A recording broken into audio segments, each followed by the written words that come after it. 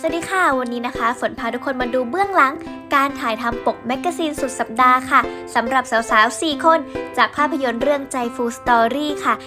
เซตนี้นะคะ ฝนถ่ายคู่กับพี่เอสเธอร์ค่ะ แต่ด้วยความที่พี่เอสเธอร์เนี่ยสูงกว่าฝนเกือบ10 เซนนะคะ ก็เลยต้องกางขาช่วยอย่างที่เห็นในคลิปเนี่ยแหละค่ะ เป็นไงคะเราสองคนน่ารักไหมคะ